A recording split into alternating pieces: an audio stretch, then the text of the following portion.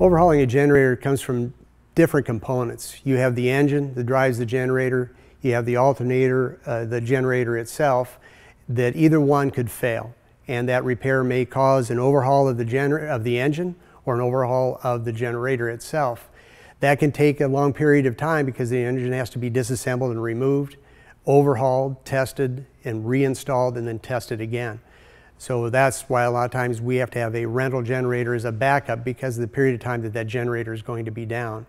But there are a lot of smaller components. There are uh, block heaters, there are uh, battery chargers, there are batteries themselves that all need to be replaced. A lot of that can be done within an hour or so, so there's not a problem with downtime.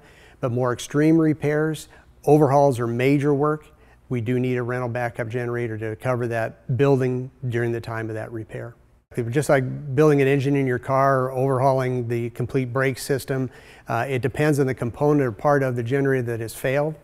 And it can be from a major repair, major overhaul, to replacing turbochargers, injectors, cylinder heads. It just depends on how severe the damage is, but it can become quite a job.